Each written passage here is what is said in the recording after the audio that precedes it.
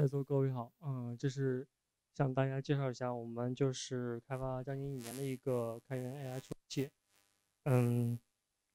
，OK，首先在介绍之前呢，我想问一下大家，大家有谁就是在平常过科研或者工作过程中使用 Scala 语？对，嗯，好的。那接下来的话就是我想说一下，就是因为我们这个项目 v e r i 项目的话是基于 Scala 和 Chisel 的，所以说，嗯，整体我们这个呃呃 v e r i v e r i 和 Scala Chisel 的关系如这个三角呃这个三角这个金字塔形一样，而 Scala 呢作为一个母语言，然后切数呢是基于 Scala 开发的一个 DSL 语言，然后 SDXL 的话，Zenix SDXL 是我们的一个测试部的平台。然后基于这三个和呃这三个呃部件，然后我们去开发这个 v e r i c 开源 AI 处理器。呃，接下来的话，我将先为大家介绍一下 Scala 和 Chisel，啊，比较简单的说一下，因为大家有一些比较好的编程基础，只需要去注意一些语法就可以了。嗯，好的。嗯，那首先呢，我为大家是呃演示一段这个。切索的代码其实是 Scala 切索混合了混混合的一个功能模块，就这个功能模块呢，我们叫做 Top Module。然后呢，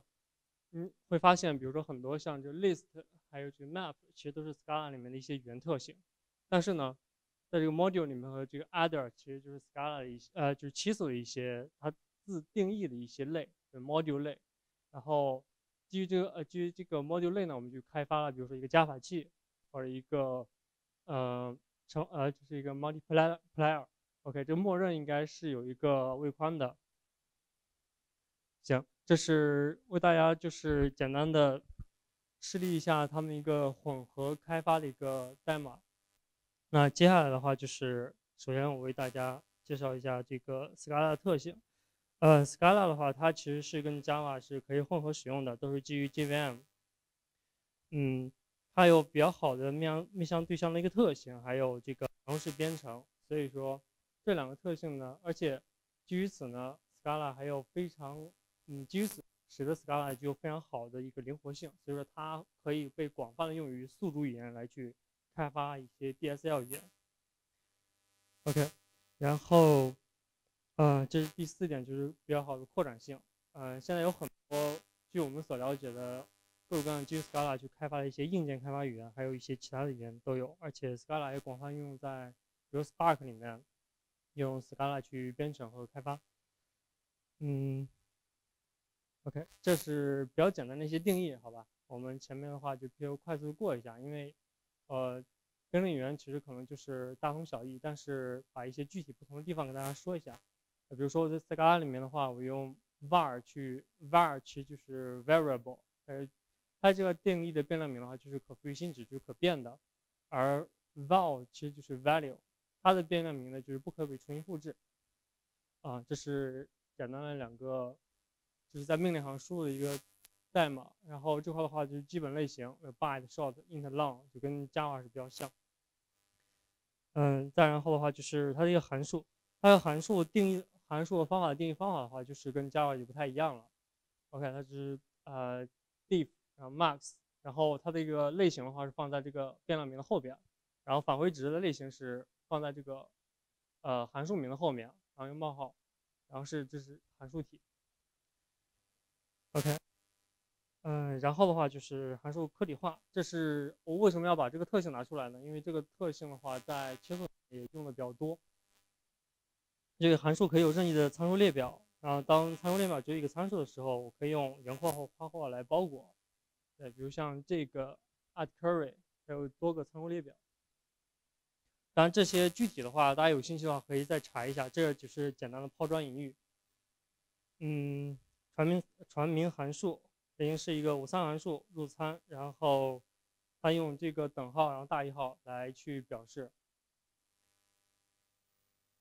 OK，呃，这是类，对，就刚才我们提到第一点的话，它就是 Scala 一个面向对象的一个特性，所以说。它这个它有类和对象，类的话在类里面的话，比如说 var 和 var 修饰的变量叫字段，然后字段与方法统称为成员，然后还有一些 public 和 private 的一些这个选项的一些设置。嗯，这个例子的话就是一个 student 的一个例子，这是对于 Scala 里面的类。然后类的话可以继承超类，但是它不能多重继承。然后，所以呢，它就这个 Scala 里面又引入了一个 trait，trait 的话就是一个叫做特质。这是对象，对象的话就是我们比如说在 Scala 里面开发的话，我可以用用 new class 来去构造一个对象，这样的话没有数量限制。但是我也可以用直接用一个 object 去定一个对象，那这样的话就是就是一个单例对象啊，只有只有一个。然后就是 trait，刚才我提到了 trait 的话，就是它可以去多重继承多个 trait，也不能说继承吧，叫混入。，the Scala 里面叫混入多个继多个 trait，然后不同的一些抽象的特征啊或者什么的可以放在 trait 里面。它的功能其实类似于 Java 里面 interface。嗯，然后这里的话就是介绍一下我们在 c h 里面经常用到的，比如说数组啊、list、元组、map 还有 set。然后其中一些 set 里面有一些比较常用的一些 API，比如说 map、for-each 和 zip，它其实都是 Scala 语法，但是在 c h 里面去做硬件开发的时候，其实非常的方便。比如说我想生成一堆这种寄存器，或者生成一堆这种加法器，我不用像 Verilog 里面我一个一个要写，我就可以直接就呃 map 生成就可以了。然后好，前面就是 Scala 简介，接下来的话为大家简单介绍一下 Chisel 的一些用法。呃，Chisel 它原来是什么？原来它 Chisel 是源于呃 UCB 的一呃 UCB 的一个两个课题组开发的。那最开始是 Chisel 开发 Chisel 也是为了去开发 RISC-V 处理器。嗯，这样的话就是基于 Chisel 可以实现敏捷开发，然后快速迭代。嗯，然后去测试它们这个 file 这个指令集到底是不是比其他的指令更优。它作为一个硬件开发语言，然后。呃，相对于其他的几种硬件开发语言啊，比如说 Verilog、HDL，它的开发效率的话，肯定相比传统的软件开发是效率肯定很低的，而且它的发展的话也不是很很不是很快。现在好像标准还是大多遵从呃 H O H O E 的零一一个标准。然后是 System Vlog，就是 System Vlog 是在 Vlog 基础上有一些面向对象的特性，但是它很多并不用于设计，而更多用于验证。然后 System C，System C 的话，其实就是基于 C 语言开发了一个定义的一些类库。但是这，比如说一些公大、大型公司里面一般用 System C 去模拟一些事务级的一些功能模块，而不是具体的硬件开发。所以说，那这个 Chisel 呢，它作为一个硬件，其实它的正常呃就是本质标准的一个定义叫硬件构造语言，它不是硬件开发语言，Hardware Construction Language。然后它的话就是基于，因为它是基于 Scala 去开发的，所以说也有面向对象的一个特性。然后而且它可以生成可综合的 Verilog，因为我们知道我在用 Verilog 去写的时候，比如很多一些 task，然后等等，它是不可综合的，它可能只是在模拟的时候你需要用到这些语法。但是用七色你生成的全部都是可综合的，你不用。对于这样的话，就是大大的减少新手去上手练学习的一个壁垒。就是说我写成什么，它我就知道它一定是可以上榜去跑的。然后七色还有一些模式匹配，呃，模式匹配的话就是呃，刚才 Scala 的时候没有介绍到，它也是，嗯，我们可以可以简单的理解为就是对于类的一个这种 which 的一个语法吧，就是说可以寻找就匹配不同的类，这样的话就是在使得在在七组开发里面也非常的方便。然后就是特征混入，还有类继承等等，都是 Scala 一些特性。嗯，然后呢七组它虽然是基于 Scala 开发，但是它也定义有自己的一些数据类型，比如说像这些 uint 啊、sint 啊这块写的不是很对，这个 ei 应该是大写，还有 bool 类型。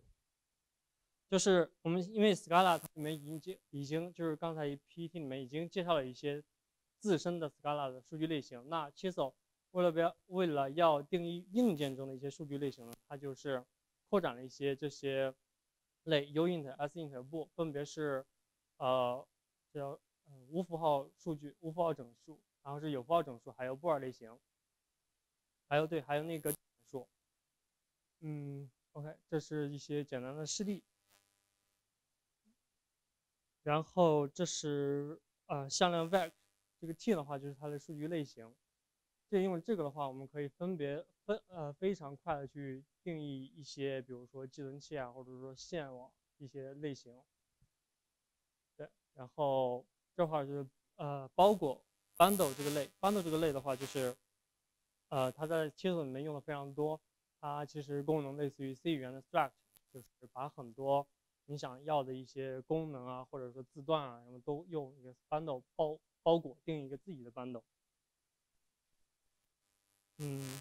然后这是七速的赋值。赋值的话，我多说一点点，就是我想给大家提个醒，就是当大家如果有兴趣的话，自己呃我们下来之后，自己在了解的时候，一定要注意，七速里面赋值是不太一样的。当比如说我声声明一个 x o 和 y 都是呃 where 类型的，那声明的时候一定要创建声明的时候一定要用等号，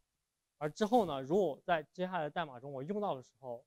那一定要用这个冒号等号来去。给这个变量去进行赋值，其实它这个赋值，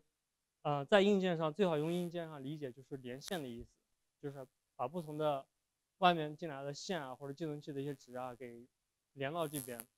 连到这个纸上面，或者连到这根线上面，这样来理解。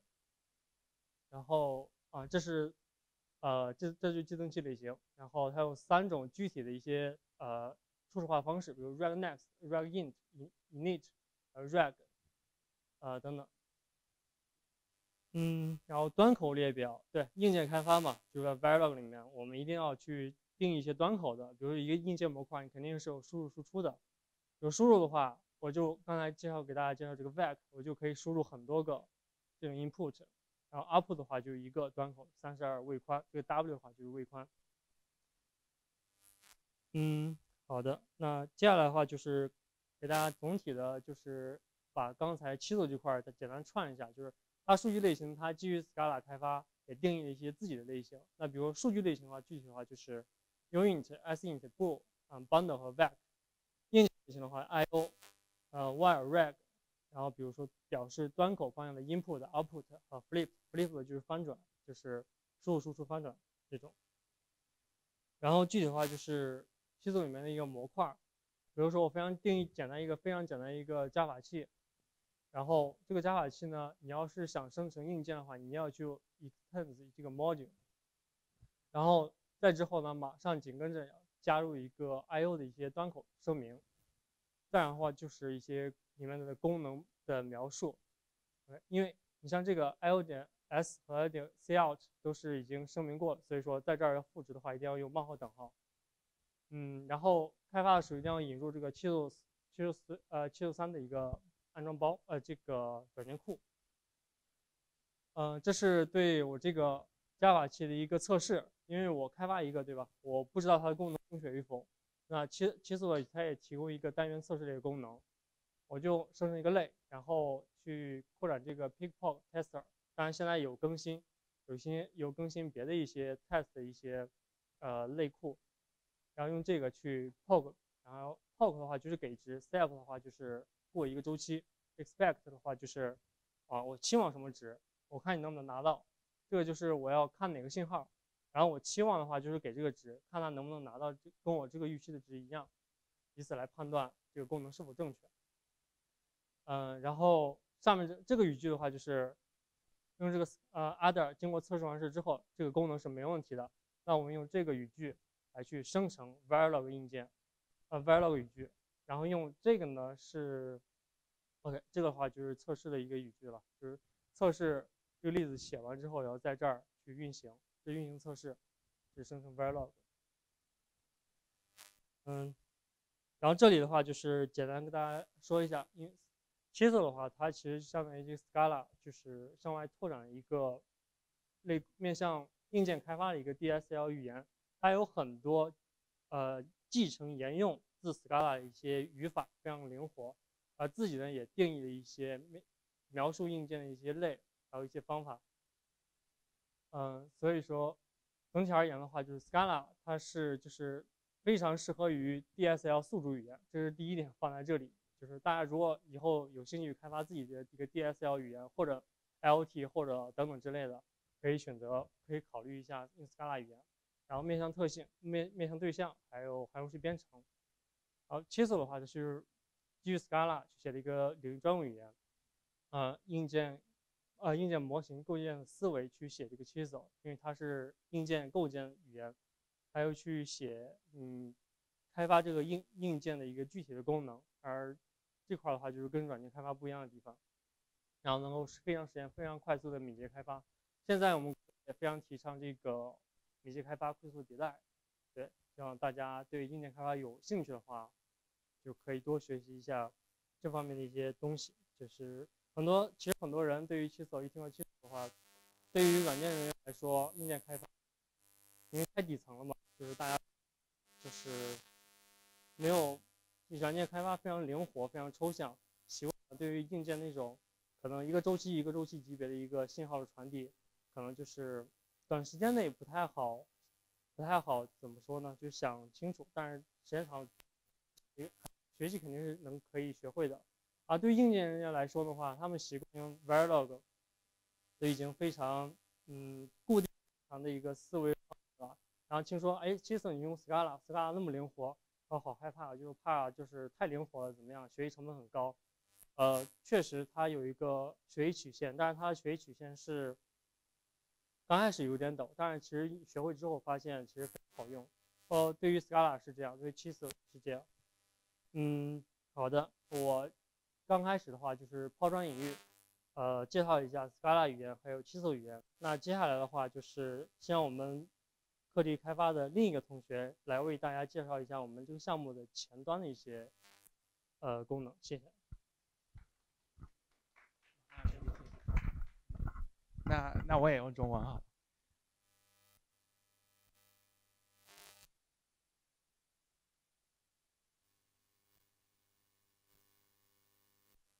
刚刚真真说的有点小的错误，我我这东西其实叫编译后端，就是前端是是用一个开源的项目。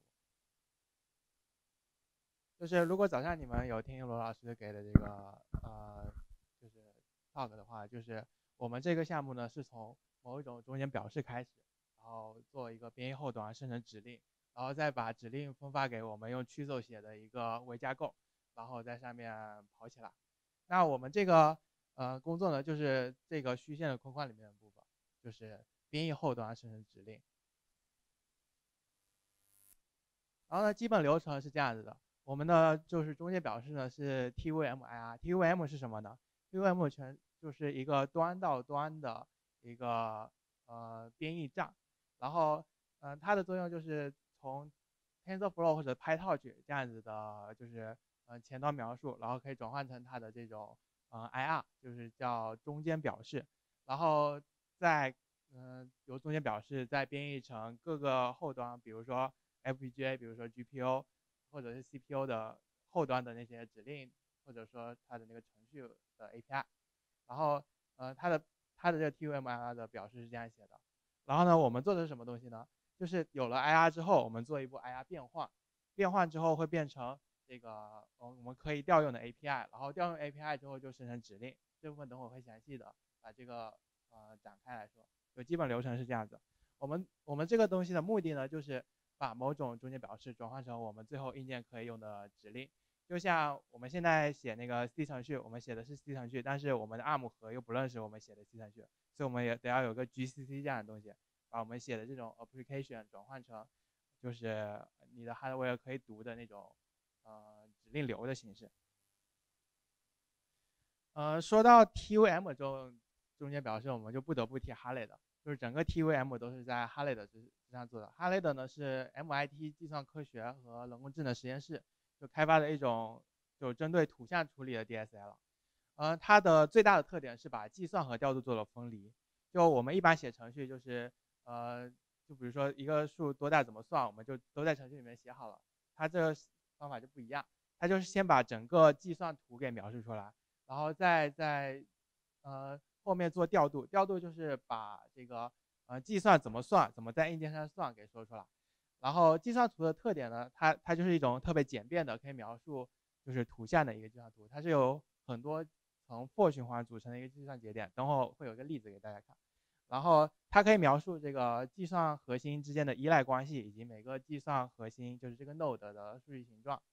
然后它的调度呢，就是呃，在可以在不修改这个计算图的情况下，就修改调度方式就可以映射到不同的硬件上了，所以它开发效率高，也适合我们来做这个，就是我们新写了一个处理器，然后嗯，为它做这个编译的一个呃这个中间表示，然后呃这个调度呢做的事情呢，其实就是指定每个计算核心在每个步骤它所要处理的数据的大小和形状，其实也不是特别多事情。嗯，然后这是早上我们提到的我们这个指令的就是架构，就是主要分为宏指令和微操作。就宏指令大概可以理解成我告诉这个处理器这次要做什么东西，嗯，比如说我告诉他这次要做做一个 A 老 U 操作，然后就把这个这个宏指令告诉这个处理器了，但处理器还还没开始动，因为它不知道这个 A L U 操作它要处理哪方面的数据，所以就要有微指令，就是告诉他处理就是。偏移量是多少数据，然后怎么处理，然后处理的这个呃数据最后就是处理方式到底以什么样的精度处理，这个就是微指令的作用。然后呢，我们这个东西呢是跟 VTA 这个关系比较深，就是 VTA 呢是 TVM 针对 FPGA 专门做的一个编编译的后端，然后我们这里是因为是共享这个 TVM 的前端的，所以我们的实现上会跟呃 VTA 有一定的相似。然后我们同时也是支持生成那个 VTA 指令，然后进行就比对的。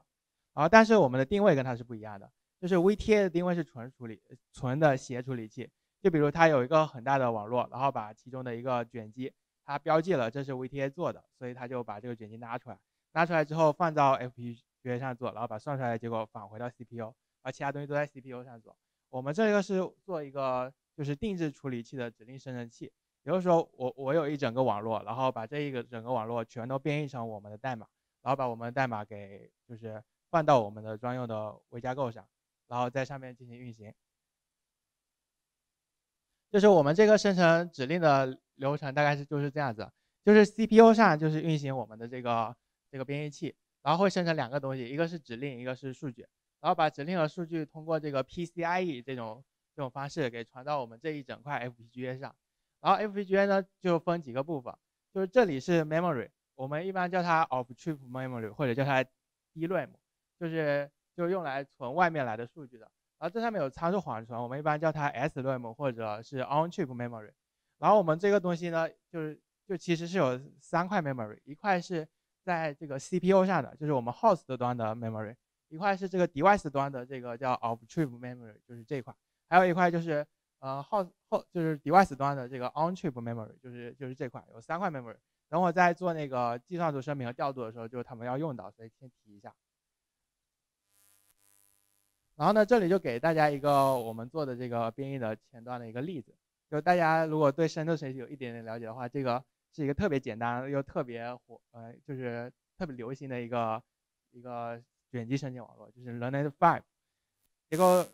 它的结构很简单，就是由这个呃一个三十二乘三十二的一个图像，然后呃做一次卷积，再做一次磁化，再做一次卷积，再做一次磁化，再做一次卷积，然后后面做那个叫全连接，然后最后会得到一个就是分类的结果。然后呢，我们这个东西呢，就是嗯针对它前面的就是从第一个卷积到这个 C 五，然后做一个编译的一个示例。啊，示例的话就是我们分三个大的阶段。呃，三个大的部分步骤，第一个步骤是计算图声明。计算图声明的话，就是把原先我们的这个计算图给分成几个部分。这里的 stage 是什么意思呢？如果大家对我刚刚提到的那个三三个 mem 就是三个 memory 有概念的话，就是呃我们在做一整个这个呃就是我们的 processor 执行这个计算的时候，我们一开始是把 host 端，也就是 CPU 上的 memory。放到我们这个 off chip memory，也就 DRAM 上，然后在最后所所有就是所有阶段结束之后，会把哦那个 off chip memory 的东西再还回 CPU 上，然后也就是说跟 CPU 的数据交互只有开头和最后。那我们这个呃我们 off chip memory 和 on chip memory 就片上的两块 memory，我们是在什么时候交互的呢？就是在这个 stage，这个一个 stage 做什么事情？就是呃一个 stage 是把这个片上的那个。嗯，off chip memory 的数据给取过来，然后我们做计算，然后把它放到那个 on chip memory 上，然后放了之后，它可能就是比如说这个这个卷积做了一些计算，然后放到一块那个 on-chip memory 上，然后后面又又用这一块的结果做一下池化，然后还在这个上面，然后然后我把卷积池化都做完之后，把这个数据怎么样子放回我们叫 off-chip 就就是就放回这个这个我们叫 DRAM 或者叫 off-chip memory 的地方，这这个统称为一个 stage，就是这这就是呃这两块 memory 之间的交互被归到一个 stage 里面，同时 stage 也是就是调度的单位。就是同一个 stage 的这个所有的计算节点是放在一起调度的。等会给一个例子。然后这个调度具体做什么事情呢？就是有三个步骤。第一个是根据我们这个计算的这个呃 workload，就是它的这个计算的规模或者说复杂，然后得到一种好的调度方案。第二个是根据这个调度方案把原先的计算图进行切分。第三个是把切分之后的这个计算图转换成我们现在可以用的，就是 API。转换成 API 之后，我们才能进行指令的生成。就是我们调度了 API，然后就会生成我们的那个 hardware 可以认识的这个指令。而接下来就就是就具体说的这流程，就是这里就是典型的那个 learn five 的这个什么 channel 啊，什么 with with 之类的参数，然后把它就声明成一些形状，然后声明成一些形状，就是就它就变成计算图了。然后啊，它还没变成计算图，它就是一个个 placeholder。如果大家有用过那个 TensorFlow 的话，就知道，就是就是 TensorFlow 里面的 placeholder 也大概长这样。然后我们这里有两个略微的不同啊，第一个是呃，我们这个东西，因为我们的后就是我们的微架构是一个定点数的一个处理器，所以我们这里使用的是就八比特的一个定点数，然后不是浮点数。啊，然后另外一个是就是我们就支持多个这个。数打包传输，就一个一个八比特的，就就我们那个呃，就是那 PCIe 或者我们 AXI 那个传数据的就比较大，那我们就是把它就好几个巴比特合在一起打包传输，我们就叫它这个参数叫 block in 或者 block out，就是一般取十六，就相当于十六个 channel 一起一起放进来，然后打包，然后一起传过去，然后再在我们的就 Mac 就是我们的微架构上去进行计算。然后，所以就是这两个就是跟我们原先的那个 Learning Five 有略微不同，那总的计算流程是一样的。嗯，然后这里就是把之前的就是参数进行设置，然后并打包，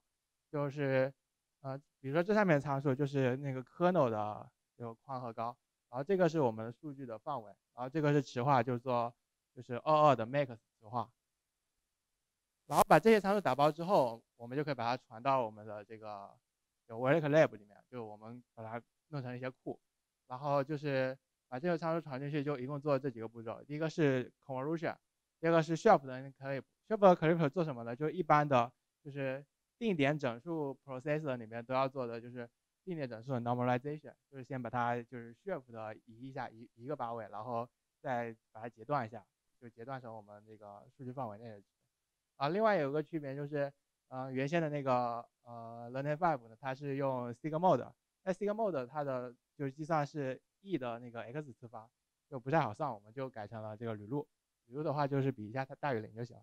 然后最后是做池化，池化之后会得到这个呃铝造 Tensor。就这里这一步呢，就我们这一个 stage 它做的计算图的就是部分。然后这里可以看一下这个例子，就是呃我们调了那个我们的 lab 里面的一个。呃，convolution 就是，呃，二 D 的 convolution 之后，然后它会变成一个什么样的东西？就是，呃，这里这几个参数呢，就是 BO 就是那个 batch 就是 P，然后 CO 就是 out out channel 就是外部的那个 channel，然后 i 缀就是呃 width and height 就是它的宽和高，然后这个这个 BI 呢是就是就是 in 的 channel，就反正它也是 channel，然后这个 CI 啊 CI 是 in 的 channel，然后 BI 是。啊，inner batch 就反正就是就是深度学习的那个 tensor 计算里面常用的一些参数，然后这几个是那个它里面的就是 channel 的这个宽度和高度之类的，还有那个 channel 的数量，就是嗯对比一下，就是下面的这几个数就变成了这几个，然后一的我就不显示出来了。比如说，就我们知道 learning five 它的这个这个 output channel 就是。就是六嘛，然后它的那个做完第一层就是三十二乘三十二变成二十八乘二十八，所以它这个呃 i 缀就是零到二十八，然后在里面呢就是做卷积的部分，就是就是它那个第一层做的卷积是它的 kernel 是五乘五的，所以这里就是五乘五，然后做做个十六次，所以就是五乘五，然后这是乘以十六，然后它做的这个东西呢是就是卷积，然后它有一些数据的偏移量，反正最后最后用这个计算图生出来的生成出来的就是就长这样的，这个就叫做 TVMIR。我们最终的目的是把这个变成我们的那个微架构认识的一系列指令，所以我们这里原始的东西生成了，然后我们接下来要看我们怎么样子把这个东西变成指令。我们先看看我们为什么要做一个调度，就是呃我们这个这个东西直接变成指令不就好了吗？但是它肯定还是有问题的。问题在哪呢？有两个问题，第一个是就是这个 SRAM，也就是这上面的。我们叫它 on-chip memory 的东西，就是原先那个图上在那个大的计算核心上的一些小块的 memory，它的这个 size 是非常有限的，就片上资源有限，所以它有一个就是 limit，所以就是要根据它的限制做调度。就比如说我们刚刚前面给的那个 IR，它那个循环不是有很多层嘛，然后每层就数有很大，那它就就它算出来的中间结果我就不够放在这里放就不够放了。那我就必须把原先计算图做做切分，比如说原先一个计算图分成三个计算图，然后把分了之后的小计算图才能放到这上面算，这是第一个原因。第二个原因是我们这个硬件就是提供的这个接口是有限的，而且是它的种类是确定的。就如果你们有就用过汇编之类的那个呃经历的话，就会发现就是就是我们一开始写就是那个图转换的再好，它也不是。被那个 CPU 或者 GPU 这样子的硬件认识的，所以我必须要把原先的那个 IR 做一次变换，变换成我们的硬件认识的 IR。所以就是这两个就是我们做调度的动机。然后根据这两个动机呢，我们就有这个调度的这个方式了。嗯，调度的过程大概就是我们把它整理成库，大概就是这样。就第一步是我们通过一些函数，然后得到这个。呃，调度方案就这这五个数，就是就被称作调度方案。然后第二步就是把这这些调度方案给打个包，就就还有那个原先的计算节点都打个包。就是这这些呢，就是第一个 stage 零它的所有涉及到计算节点。然后这些就是后面要做那个呃，它有所有涉及到的参数。然后把这个这个参数传到我们这个呃，它有这个函数里面之后，它就会把原先的计算计算图按照刚刚的那个。嗯，可以放到硬件上的那种切切割方法，把它进行 tile，然后进行 tile 之后，我们就会变成一个新的计算图，但它仍然是 TVMIR，就是那种表示。那我们就要做一个叫做 lowering 的东西，就把原先的 IR 就降级，使得它支持更底层的这些 API。然后我们接下来就详细讲讲讲这几个步骤。第一个步骤呢，就比较直观，就是怎么样子获得这个 schedule。呃，首先我们那之前画了一个图。就图上有三片 SRAM，就是 on on chip memory，然后它在同一个 stage 分配，那那它就就是不能超过它它这三块 SRAM 的大小限制。那这个方法也比较简单粗暴，就是呃我们根据 workload，就是 workload 就是之前那个所有 shape，然后 kernel shape 的这个参数的一个总和，然后根据这些参数，它们所有都是一个整数。那是整数有什么特点？就是它有因子，那我就把它所有的因子排列组合都列出来。然后都列出来之后，排除其中不合法的组合。不合法的组合主要就是超过这个这片上内存限制的组合。把它排除之后，我们剩下剩下一堆的结果，那我们就可以从中找到最优的结果。所谓最优的结果，就是它的那个内存的这个移动，就是在 on-trip memory 和 off-trip memory 之间移的最少的，这就是最优的结果。然后得到最优结果就是就这五个参数。然后这这五个参数之后就是做 tiling，比如说这是一个例子，就是我们这得到的是这几个数，可以看看这个这个红圈圈里面的，就是这个 co，co 它原先是六，然后我们得到的 schedule 它是二，所以它在这里就变成二，然后在这个整个的外面会有一个 for 循环，就 for 零到三，然后就相当于这个计算图它被缩小了，然后重复了三次，然后这个 h 也差不多，反正它就变成了一半，然后它这个。这里它具体是怎么实现的？就是这个函数，就是 split，然后就是把原先的一个，比如说原先这个叫，呃叫 OC，OC 这个这个这个一层 for 循环，然后它把它按照这个 OC block，就是这个二，按照这个二给切分了之后，它就变成两两层循环了，一层叫 OC out，一层叫 OC in，然后变成两层循环之后呢，它的这个顺序就就不太好，让它整个都放在外面。啊，所以我们要做的是 reorder，就是把这个切过的结果，就是这些叫 out 的全部都放到放到外面，然后那个所有叫 in in 的都放在里面，就是这里，就是这里有四个 out，就是切切了四刀，然后就有四个 out，然后后面有一大堆 in 之类的，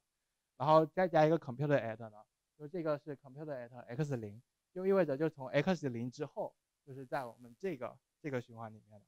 然后所以。呃，这里就是从这个应该是从这个 b b in 的开始，然后但因为它是一，所以不显示，所以这里就是在下面，就它就从那个 o c in 的开始，然后这个就是这个 tiling 怎么做的，就是我们之前得到了 tiling 的这种最最优的调度方法，然后根据这个调度的结果，然后去真的把这个图做了切分，就切成这个样子，然后重复很多份。但是切分之后，我们还是没有得到我们的可以转换成硬件那个指令的这么一个东西。那我们还要做什么事情呢？就是 rolling，。Lowering 分为两个部分，第一个部分是 set scope，就之前所有的那个 scope，就就所有的那个就是 buffer 都被认为在 global 上。global 是什么？就是 off chip memory 或者叫它 DRAM。然后，但是我们实际做的过程中是要把这些东西放到我们的 on chip memory 上的，所以就要把它这个。呃，这这些 buffer 给 set scope 就是设置它的作用域，就比如说我们这个这个 data buffer 就是读我们就是一层网络的那个数据的，然后这 kernel buffer 就读一层网络那个 kernel 的参数的，然后所以他们两个就放到各自的那个 SRAM 上，然后后面的那个就计算结果，比如说比如说池化，池化之后它不是有一个计算结果吗？然后它就放到这个就是这个 ACC buffer 上，就一共三块，就嗯各个。按照那个计算的那种那种事实的实现，就把它调调度放到各个对应的这个 buffer 上，所以它原先的从叫 global，然后就变成了这里叫什么 local 点 input buffer 之类的东西。然后这里把这个 buffer 放完之后，我们终于可以开始转指令了。那我们做的是什么呢？就是有有两种方法，它们是一致的，一个是叫 pragma，一个叫 tensor tensorize。它的做法，它的就是把原先的那个计算图变成这种 API，就是这种 API 是对我们更加底层的那个编译器会会认得的，就是会认得这些 API，就跟原先计算图已经长得不一样了。原先计算图只描述计算，到这里就是变成 API 了。它大概就是在这里，比如说，呃，这个这个这个计算节点，我告诉他，他应该用这个 gem 这个函数来算，那他用 gem 这个函数来算，他就会根据这个 IR 变化的一个 rule。然后把原先的计算图变成这个样子，就是变成呃这个带这个呃 API 的样子。然后有了这个东西，我们就可以生成指令了，就终于到我们指令出现了。就是呃这个东西就是经过一个叫做 just in time 的一个指令生成过程，就是走这三个函数，就从上到这里再到这里，有这里面有很多细节就不提了。就反正它走这三个函数之后，就从就从这边的这个叫做 API 变成了真正的指令，呃，就是比如说，这这是一条我们刚刚的卷积的一个一个那个转换之后的描述。那一个卷积我们是放在哪里算？放在一个叫做 Gym 的单元，就是乘累加器上算。然后，呃，它这个就比如说这这里的这四个参数对应的就是它外部外部的这个呃 loop 它的这四个参数，然后。它生成的这个微指令呢，就是有五乘五乘二十八，共七百个，共七百个就是就是它长成这个样子，然后它是放在这个就是所有的这个红就微指令都放在同一个数组里面，它就放在这个数组的第二十八到第七百二十八位，就共七百个，然后到这里为止，我们所有指令都生成了。那我们生成之后，自然是要给我们的这个微架构了。那我们怎么给给微架构呢？我们就直接把它存出来，就是指令就被存到了这个指令的这个 binary 的文件了，然后那个。呃，那个它的那个数据，数据我就存到了这个就 data 这个文件里面，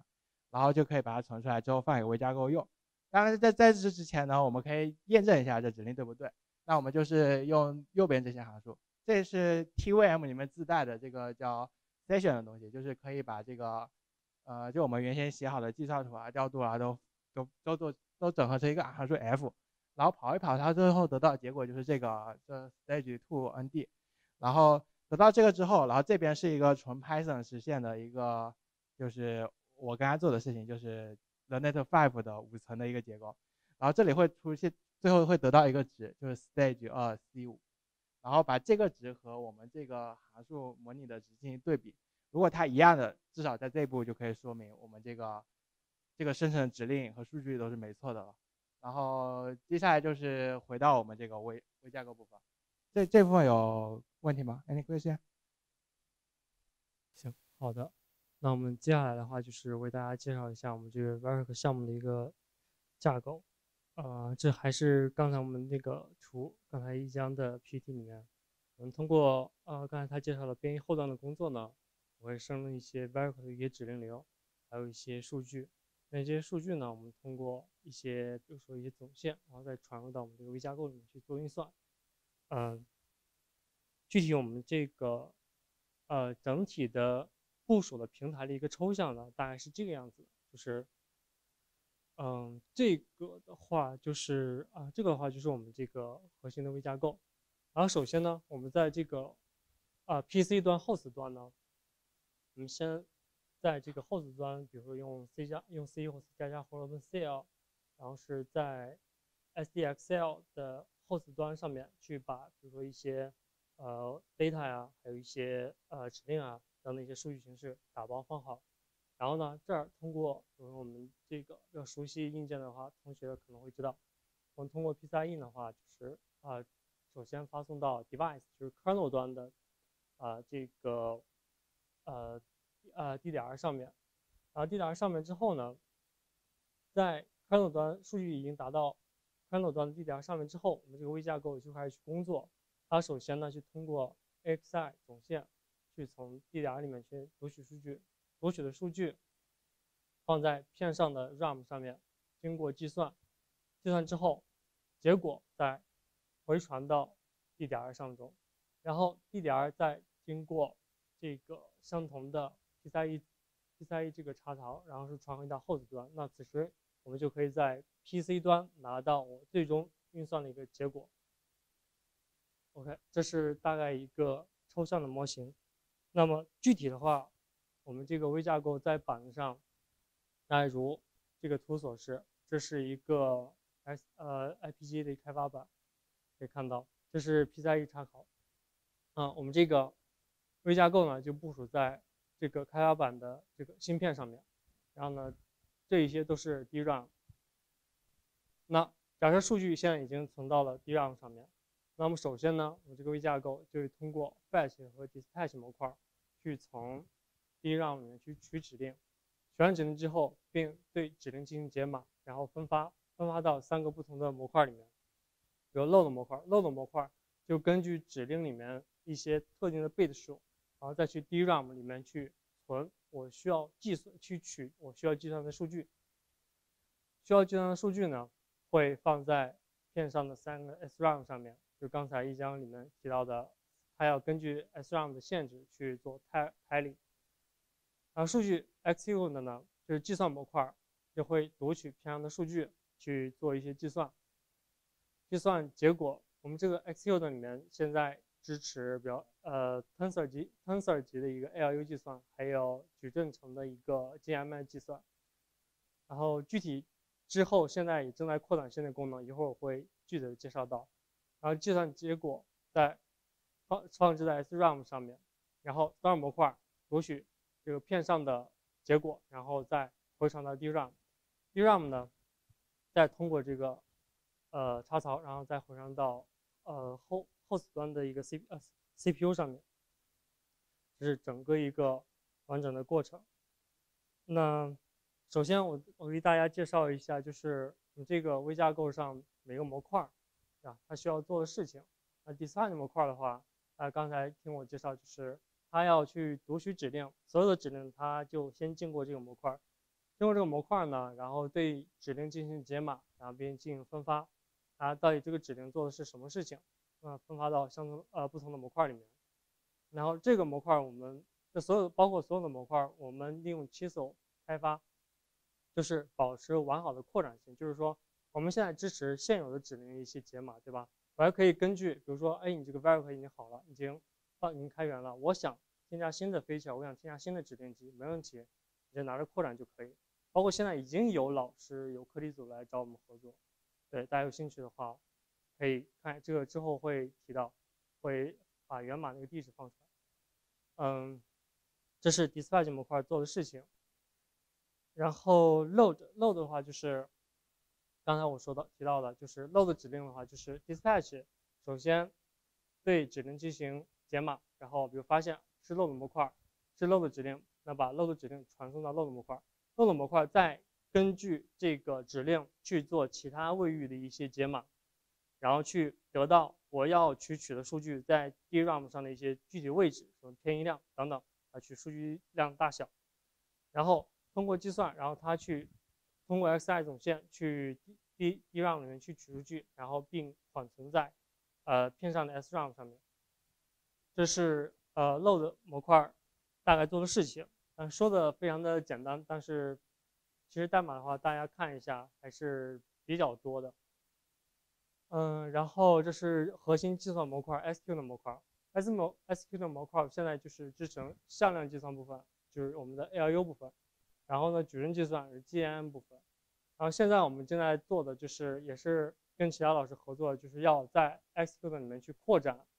Systolic Array，就是 GPU 里面的一个实现的一个比较经典的架构。把这个集成在 Xcode 里面去扩展它的空，扩展它的功能，并且相应的扩展一些指令集。这是 Xcode。然后 Storm 模块的话，就是把 Xcode 计算。得得到的一些结果，然后从呃从 store 模块读取计算的结果，再回传到 DRAM 里面。因为此时呢，就是回传完事呃回传结束之后呢，host 后呃 PC 端的 host 会从 DRAM 这边 DRAM 上去把结果再回读取回到 PC 端。那这时候我们就可以在屏幕上去看到一些结果。嗯。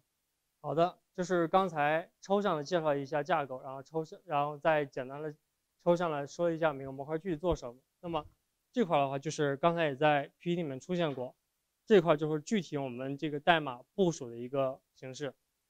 首先呢，我们在用基于 Xilinx SDXL 这个开发环境，然后在 host 端用 C 加加代码去把一些呃编译后端得到一些指令和数据，我通过 PCIe 放到片上的 DRAM 上面，然后呢，我的这个微架构呢，从片上，呃，从这个 DRAM 里面去读取数据和读取指令，到片上的一些存储，经过计算，再放回到 DRAM，DRAM 再返回的这个 host 端，整体是这样的。嗯，好的，那介绍了我们整个一个架构呢。我们再介绍一下，我们在这个项目里面，除了提供一个整体的处理器的基本架构之外，我们还做了一些额外额外的一些贡献，就比如说一些非常实用的 Chisel 的呃工具库，就比如说这个 DRAM Simulate，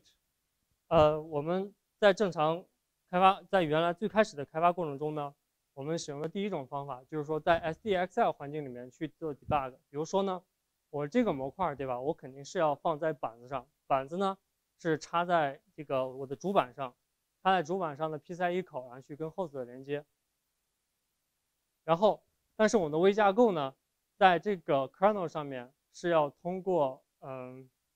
，kernel 上面是，呃，我们这个微架构是在 kernel 上面要通过 xi 去从 DRAM 里面去读取数据。那最开始我们做的方式呢，就是啊，我把这个七字模块我开发完了，然后呢，我把它就是转换成 Verilog 语言，转换成 Verilog 语言呢，我就再给它跑在这个 SDXL 环境上面，跑在这个加速卡上面，然后去看有没有什么 bug，然后去看它的波形，然后一点点找问题。那其实第一种问第一种方法的话，就是比较原始，然后比较慢的一个方法，就是因为 SDXL 它这个软件它启动的时候是比较慢的，这还是在服务器上，在个人 PC 上那就。会更慢。那现在我们提出第二种方法，就是说我们基于 Chisel，我去写一个 DRAM simulator，我把你所有的功能，其实就是一些数据存储，然后一些这个信号的一些交互，对吧？你给地址，然后给地址，给数据长度，然后如果你有的话，你就返回一些数据等等。那我们通过就是通过这个以 DRAM simulator 为例，就是我们基于七所去开发了一个 simulator，去完成这个 DRAM 呃 simulator 的一个工作，这样可以更方便、更快捷的去 debug 问题。然后除此之外呢，啊这块就是我们这个大概一个代码，嗯，这是 DRAM simulator，这是顶层模块，然后这个 diff this 这是一个呃。这是类似于一个构造函数的一个功能，这是 Scala 一个功能。然后这块定义 I/O 等等，这块 RAM 的话，比如说我生成，这这其实就是七速的功能，就是说我生成一个 memory，对吧？memory 里面我放，比如说 memory 多宽多深，然后我放一些数据，然后这个七速也有一定的语言，一定也有一定的 API 去支持，直接从文件里面去读取数据放到 mem 里面，等等等，我去模拟这个整个。一点二的功能，我们就是利用这个，就在七速的基础上，我直接去做一个 simulator，而不是说我每次我设计完，然后我翻译成 Verilog，我在实际环境中我去跑一下，然后再找问题。这样就这样的话，就是加快了开发的进程，debug 的进程。呃，除了 DRAM simulator，我们还开发有其他模块的一些 simulator 和其他的一些非常好用的一些工具开源出来。然后是以来吸引更多的开发者来加入七手，加入敏捷开发这个，加入开源硬件这个行这个这这个社区里面吧。嗯，好的，嗯，这里的话就是现场练习。本来我们打算的话就是现场给大家，就是我们的服务器啊，不是虚拟机已经搭好了，给现场大家就是简单的练练手。但是可能呃，但我们会把这个 PT。呃，一会儿我们想的意思就是说，要不我们可能在以后建个群，然后把 P D 放在群里面，大家有什么问题可以随时问，然后就随时会互相交流嘛。OK，那我们先来大大家看一下这个简单的练习是什么样子的。就是在说之前呢，我再把第二页还是第三页的一个 Scala 七速混合调用的一个代码给大家示例一下，就是说这是顶层模块，然后在里面呢。像这些 list 还有 map，其实都是一些刚才给大家介绍过 Scala 一些基础的一些数据结构，呃或者功能。然后呢，比如说这个 new other 这个 module，这个其实就是七组的一些硬件模块的一个呃生成的一些啊一些源语吧，可以这么说。啊这块的话，我们就生成了一个整个七组 Scala 混合调用的一个示例。然后简单介绍一下七组开发的一个搭建。然后在 Linux 上面的话，就是这其实，在 GitHub 上这个 FreeChips Project 已经说的比较清楚。然后在 Windows 上面，它也有相应的一些搭建的流程。比如说，呃，这个 IntelliJ IDE 这个可能用过 J 使用 Java 或呃 Java 或 Scala 一些朋友应该会比较了解，也是基于这个 IntelliJ IDE，然后下载配置的时候安装这个 Scala，然后下载项目模板。这个项目模板的话，就是七四的 template，这里面的话就是呃有一些必要的一些文件，它这个在 template 里面都有，我们只需要根据这个 template 去添加我想要实现的一个功能的文件就可以。然后导入项目模板，就导入这个文件，然后等待第三方呃根据这个里面的配置文件去下载，自动下载结束就可以进行开发。呃，这是本来想就是现场。运行线上就是 demo 线上写代码的话，可能给大家就是安装啊，或者这类的一些示例。嗯，OK，然后我这个 AWS 上面的虚拟机也搭好了，然后当然这个可能时间可能也来不及。那之后的话，就是下完之后我们再来根据一个例子来具体大家下来跟之后可以再把环境搭起来去开发一下。而这里的话，就是给一些比较常用的一些命令了，就是它其实它就用 SBT 来进行编译嘛。然后这是一些，比如说，啊，这个命令是 test 命令，就是说我一个模块叫我要进行 test，啊，这么一个 test 命令。然后这是 remain，然后这块就是 value 的一些呃命令。呃，OK，这个的话就简单跟大家说一下吧，就是也不要我们现场 demo 了，现场现场 code 了。就是这块我们实现一个 AXI 协议，AXI 协议的话就是它里面有五个 channel 嘛，呃，read read address read data，read address、read data，还有 write、read 呃 response，呃，通过这五个 channel 呢，我们去，比如说在 kernel 端和 host 端去给地址，给地址，然后确定，然后是确定地址的呃，确定取数据的长度或者写数据的长度，然后再回传数据，等等等等，就是我们在这个包括这个源码也在放在这个鹏程启智的开源这个 iHub 上面，大家有兴趣的话可以看一下。这是 A AXI 的实现，然后呢，我们又把这个 AXI 可以看到这个，这是基于七组开发好处。AXI 我实现了之后，它是一个类，对吧？我想用呢，我直接在这个这个 object 里面，它这个生成函数里面，我直接把这个类作为参数传进去，然后我就能在这个参数就在这个类对象里面去调用。然后这里我们又实现了一个 G A 对 X I 去进行访问的一些函数和一些代码。啊，比如说这个 start，start 的话就是开始，就是我要去访问，开始做一个启动的信号。然后这 read 的话就是，啊，就是我要去读了。你看，比如说这块的话就是，啊，这块就是比如说一些状态判断，然后这块就是读的地址啊，啊，读的长度啊，等等等等之类的。大家有兴趣的话可以看一下我们这个代码荡下来，就是可以再参照一下。嗯。这儿那这样的话就是不用现场写代码，那我要介绍的内容基本就这些。看一下，就有一些小板子，其实我们后面在群里可以给大家一些建议。就我们现在也在找，有些小板子可能就两三百人民币，这样的话大家其实是可以呃接受得了。有如果是上 FPGA 云的话，其实有点贵，大概是十块钱一个小时。有 AWS 的话，它可以按小时、按按分钟计费，会便宜一点。就大家可能跑一跑，把机器关掉，有几毛钱，大概是这个量。啊，好，好像是的。就那个是因为芯片比较小，而且它的那个布线架构，它好像是比较公开，就所以那个是可以拿得到。